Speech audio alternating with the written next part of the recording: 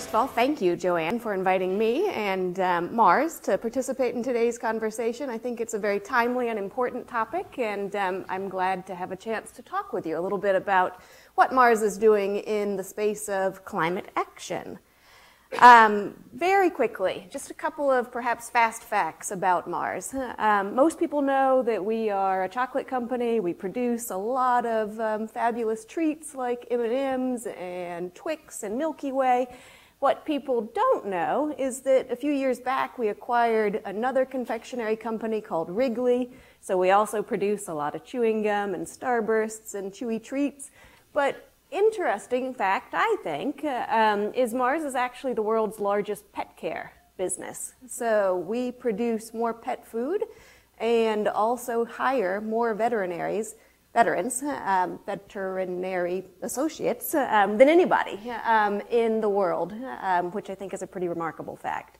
And then we produce a lot more food for people as well. So rice, like Uncle Ben's, and other products as well. So it's a diversified business. It's a growing business. We have about $35 billion in sales on an annual basis.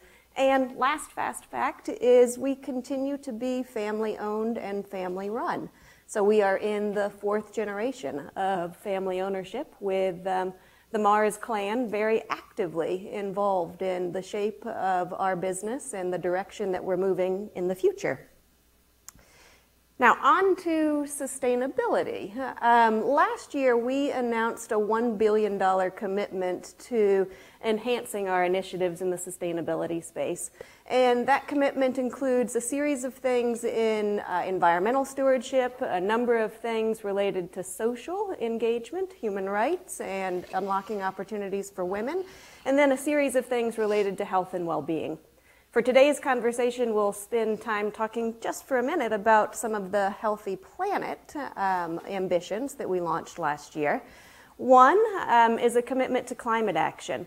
And here we have looked at sort of what the science says is necessary for our business to operate within planetary boundaries, and we've set goals that align with that science. So our ambition is to reduce our absolute greenhouse gas emissions throughout our entire value chain by about one third by 2025 and by about two thirds by 2050. Again, um, that's what the science says is necessary. It's an incredibly robust ambition, not incremental, what we see many companies doing, but um, what we believe to be necessary. Um, relatedly, we're also focused on water stewardship. So here, um, and I'll show you a chart in just a moment, um, you know, we're looking to cut our unsustainable water use um, by about half by 2025 and remove it entirely from throughout our supply chains by 2050.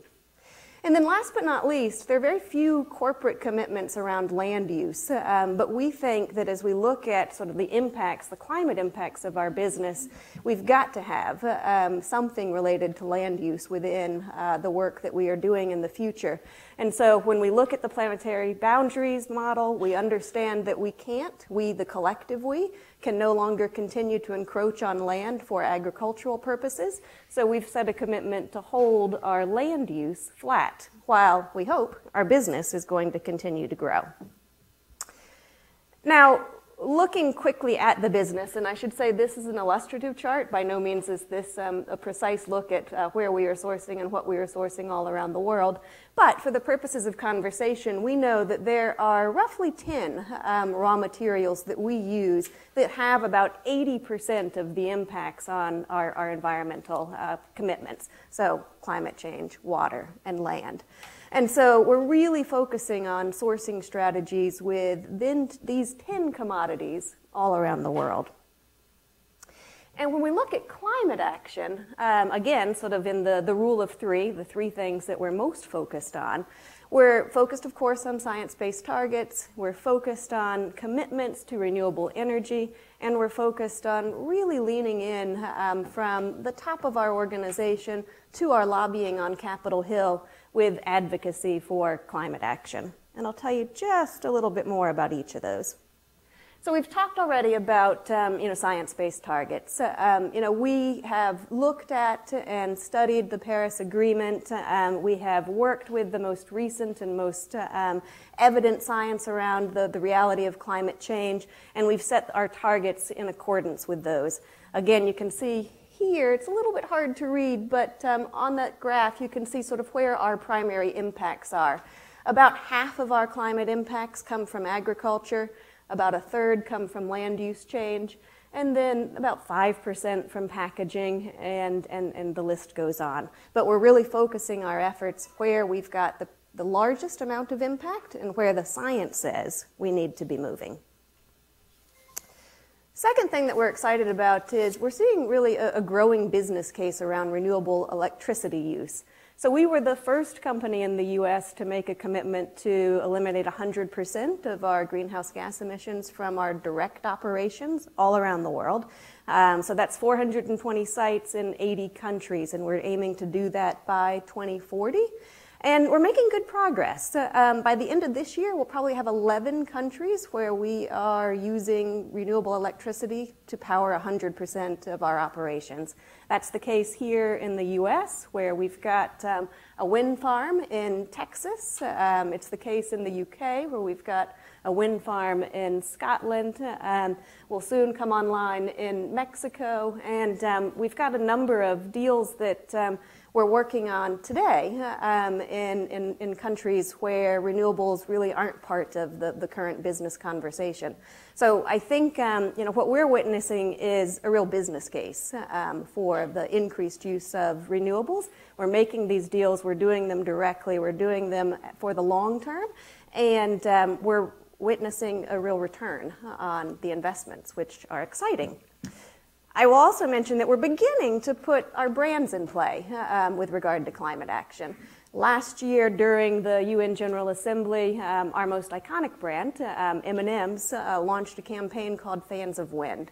So they brought the brand voice into the conversation about climate change and about the need for climate action.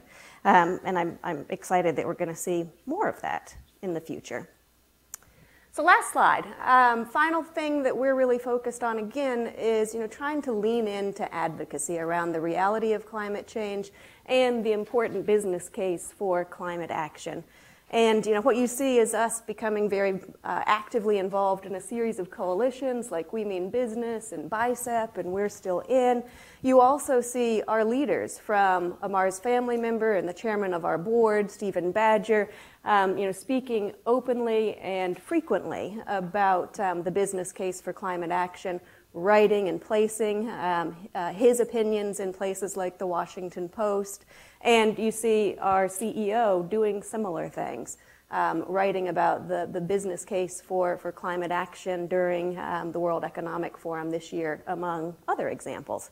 Um, and you know, we think that um, you know, it's important that we do this kind of advocacy um, on a recurrent basis, and that we also make sure that our lobbying initiatives um, here in the U.S. and elsewhere are aligned with the reality of climate change. And so you'll find our lobbyists, when they do go to the Hill, um, they are regularly and frequently talking about climate change.